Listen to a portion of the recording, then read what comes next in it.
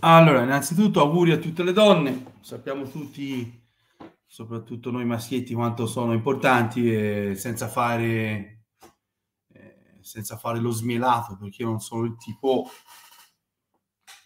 eh, io insomma, tante cose le devo anche, insomma, mia moglie che mi ha aiutato in tante cose, insomma, cioè, come si fa senza le donne, ragazzi? Sono madri, fanno i figli, insomma... Eh sono, sono, potenti, poi io in casa ne ho due, una figlia, no, non due mogli, eh, una, mi basta una, una moglie e una figlia, quindi eh, auguri a tutte le donne che ci sopportano, mettiamola così, però anche noi, insomma, support- tutti ci sopportano, dai, facciamo così.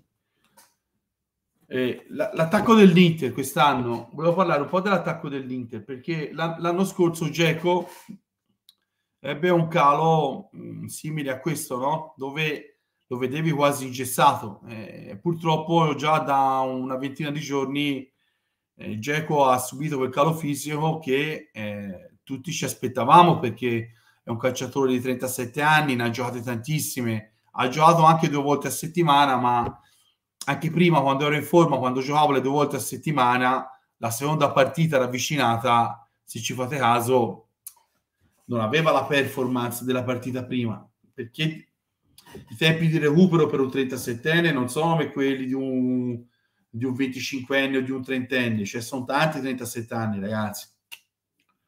Quindi cosa è successo? È successo e poi dopo eh, l'Inter, un'Inter squattrinata, piena di debiti, fa pari con i Chelsea vendendogli Casadei e prendendosi Lukaku. Parlo dell'operazione complessiva, perché l'operazione complessiva di Lukaku è costata sui 20 milioni, 22. L'Inter vende a Chelsea Casadei quasi per prendersi Lukaku in prestito. Purtroppo Lukaku tra infortuni, tra, tra vari problemi, tra cui io ci metto anche l'impostazione tattica dell'allenatore, perché è inutile dire deve dimagrire, eh, deve correre, eh, suda, sbuffa, fiato corto, quello è vero, lo vedo anch'io. Anche l'altro giorno quando è entrato, suda, sbuffa e a fiato corto, lo vedo anch'io. Anche perché una rondine non fa primavera, il gol del Porto gli doveva servire a lui per slancio, ma c'è anche un altro problema dietro a Lukaku, c'è l'impostazione tattica dell'allenatore, perché Lukaku non gioca nella posizione, secondo me, eh, dove può rendere di più, perché come lo fa giocare Inzaghi, secondo me Lukaku potrebbe essere anche 70 kg, non renderebbe mai come rendeva con Conte, perché Conte lo sfruttava in una maniera perfetta, Inzaghi non lo sfrutta in una maniera perfetta. Conte improntava tutto il gioco su Lukaku, Inzaghi ha quel gioco comunque di fraseggio, quel gioco corale che non prevede il puntare tutto su un giocatore. Lascia perdere i giapponesi il cinese non ne parliamo nemmeno ormai del cinese, che non sa cosa ci faccia ancora a Milano. Nonostante tutto, ormai il gioco di Inzaghi è diventato prevedibile perché non, l'abbiamo detto mille volte, non ci sono uomini di fantasia, non ci sono calciatori che saltano un uomo, non c'è nessuno che si inventa nulla, è diventato un gioco schematico. E quindi si ritrova un Lautaro Martinez che già da prima del mondiale gioca affaticato, fa un mondiale diciamo sufficiente ma perché era infortunato. E all'Inter se non gira lui ragazzi e lui sta trascinando la squadra perché su Lukaku che è il centravanti più pagato della Serie A se non il calciatore più pagato della Serie A purtroppo non ci puoi più contare e Geco ha 37 anni. Quindi l'Inter può contare a 360 gradi su un attaccante che non è che andrebbe protetto come un panda andrebbe messo sotto aceto ci siamo fino a qui. L'errore qual è stato? L'errore è stato quello comunque di puntare su Romero Lukaku che veniva da un anno quasi di inattività e soprattutto eh, investire quella cifra di Casadei, questi 22-25 milioni per avere in prestito un attaccante che molto probabilmente il prossimo anno non riscatterai. Ma a mio avviso ci sono stati due errori perché errare è umano ma perseverare è diabolico. Non prendere di bala e sbolognare il ballerino, perché io te lo ripeto, il ballerino, ora l'ho sentito riportare anche da qualche giornale, il ballerino andava dato via quest'estate. perché se no lui ti fa il giro delle sette iese in prestito perché non trova nessuno che dà 4 milioni. Quindi lui farà il giro delle sette iese e ti va via in prestito e te di questi 31 milioni non te ne fa cioè, questi 31 milioni li hai presi e li hai buttati perché chi ti dà anche 20 milioni per Correa? Fammi capire. Mi trovi una squadra e ti dà 20 milioni per Correa? Ma l'errore più grande, no, allora ti scappa di bala. Correa si sa tutti no, che fa una partita ogni quattro mesi. E, buo- e buona ne fa una ogni otto. Tieni Sanchez.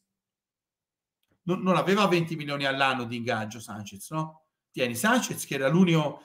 Perdi Perisic da quell'altra parte. Che già allora, la perdita di Perisic è una doppia perdita perché praticamente hai perso uno e saltava l'uomo, hai perso uno che ti portava la palla dall'area nostra all'area loro, quindi gran parte del gioco dell'Inter l'anno scorso passava da Perisic, oltre le sue qualità che metteva nel campo, saltare l'uomo, cross nel mezzo, superiorità numerica. In più ha fatto peggiorare anche Danfis. Perché Danfis quest'anno non gioca bene? Perché non ha più modo di entrare, di tagliare nel mezzo di quando c'era Perisic.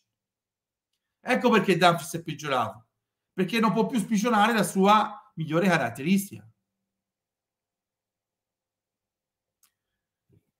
Ci sono stati due errori quest'anno. Qui c'entra nulla il cinese. Vabbè, c'entra il cinese perché eh, Sanchez va via perché c'ha un ingaggio importante. A, a, a Don Abbondio gli dice: Ehi, amico, eh, i campiones devono giocare. Don Abbondio e Zani, per scherzare. Ed ecco ti ritrovi a un attaccante solo. Ma eh, Lautaro sta tirando la carretta ormai da solo da un mese, un mese e mezzo, giusto? E eh, capito, ma la stagione ancora sì, non è che ci sia un granché di stagione davanti, ma insomma c'è ancora un bel pezzo di stagione. Questi sono errori tecnici, non c'entra nulla il cinese. Sanchez te lo tieni. Sai che Correa non è affidabile, ti devi tenere Sanchez, non hai preso di bala. Hai un attaccante di 37 anni, quanto pensi di strizzarlo ancora? Qui non c'entri i cinesi, ci sono anche errori tecnici fatti dai masterclass, ma anche dallo stesso Ausilio che io stimo tantissimo.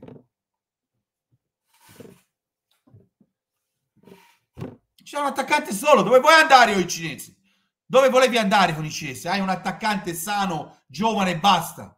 Lukaku non si sa. Una buona, tre poco buone, 20 minuti, mezz'ora. Poi c'è anche un allenatore lo gestisce, secondo me, male. Perché ti spiego Lukaku non è un giocatore qualunque, o ci punti o non ci punti in panchina, poi gioca in panchina. Quello è come viene, ha bisogno di stare in campo. O ci punti in Zaghi o non ci punti. Perché nella testa dell'allenatore l'attaccante, l'attaccante titolare Geco. Errore di chi ha costruito la squadra. Lo sapevano doveva costruire la squadra senza soldi, ma perché lo dai via Sanchez? per dargli tu, poi lo dai via Sanchez. Dici, oh, gli hanno te Sanchez lo dai via, gli dai i soldi di tutto l'ingaggio per mandarlo a Marsiglia dove ha fatto 14 gol. Ma di cosa vogliamo ragionare? Se gli hai dato tutto l'ingaggio, perché non te lo sei tenuto? È quello che io ci divento pazzo. Io lo so perché. Perché Don Abbondio non lo sapeva gestire. Ecco perché Sanchez è andato via. Dice, oh, va via così, vai via gratis 6 a 0 l'hai dovuto pagare gli hai dato tutti i soldi dell'ingaggio perché non l'hai lasciato qui anche a tenertelo in giardino a fare i palleggi l'hai pagato ma che scelte sono queste qui che scelte sono queste qui ora ti dico un'altra cosa di come, di, di come secondo me eh, mi posso sbagliare è gestita Skriniar, seguimi bene. Io non lo so se rimarrà, se andrà via. Io non faccio mercato, te l'ho sempre detto. Skriniar non ha mai saltato, contami le partite, ha saltato Skriniar in quattro anni e all'Inter. Quante? 4, 5 anni. Avrà saltato due partite. Da quando ha parlato il procuratore, Skriniar non gioca quasi più. Problema alla schiena, problema ai dente, ha un'unghia tagliata male, raffreddore, gli hanno tagliato male i capelli, Schigna non gioca più, indipendentemente dal fatto che non è due indizi, ci sono due, tre, quattro indizi, indipendentemente dal fatto che dietro con Darman, Darmian migliori giro palla e migliori anche l'uscita di palla, ma perdi, perdi tantissimo in marcatura però, perdi troppo in marcatura. Cioè, uno come Schigna ci vuole nella difesa a 3 e Schigna non gioca più. Anche questa cosa, spiegamela. Schi- anche la gestione di Schigna ne vogliamo parlare, indipendentemente no, dal fatto che eh, sia stato gestito, secondo me, malissimo. E qui non c'entra nulla il cinese. no, il cinese c'entra sempre, perché tanto era lì per l'ingaggio, perché poi, vabbè, lasciamo perdere.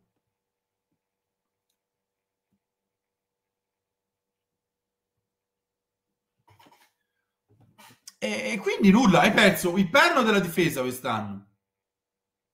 Davanti non c'è più nessuno, sulle fasce, a parte la grande partita, la prima grande partita di Gosens, la migliore da quando è l'Inter, ma non hai più fantasia da quella parte, non crei superiorità numerica. Sulla destra Dumfries senza Perisic è un giocatore normale, c'era chi lo valutava a 65 milioni, Dumfries, ricordatevelo, con tutto rispetto per Denzel.